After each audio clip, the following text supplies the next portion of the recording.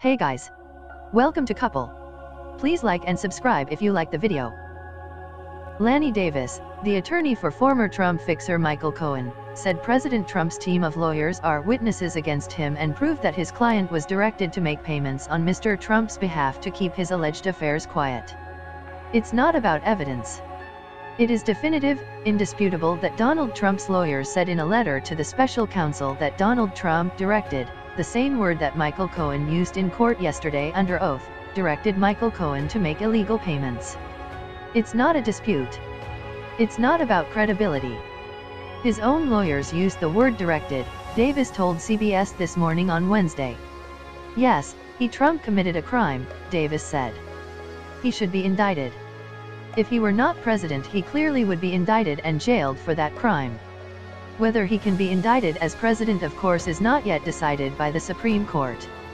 Davis' comments came just one day after Cohen, as part of a plea deal with federal prosecutors, pleaded guilty to eight counts including two campaign finance violations involving payments to silence women.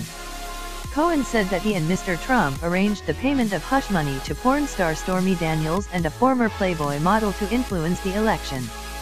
Cohen testified in federal court, according to his lawyer, that Mr. Trump directed Cohen to make the payments.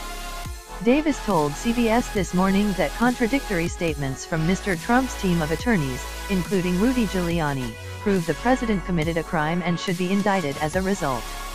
After the president previously denied any knowledge of payments to women in April, Giuliani said on Fox News a month later that Mr. Trump had reimbursed Cohen for a $130,000 payment he made to Stormy Daniels from personal funds as part of a non-disclosure agreement. He Giuliani said the president reimbursed Michael Cohen. So there is no dispute that his lawyers have not taken it back, Davis said. They wrote it to the special counsel that President Trump committed a crime by directing, and why did he direct? Because he didn't want his signature on the check. Why? Because he was covering up right before the election. Or else, why didn't he do it himself?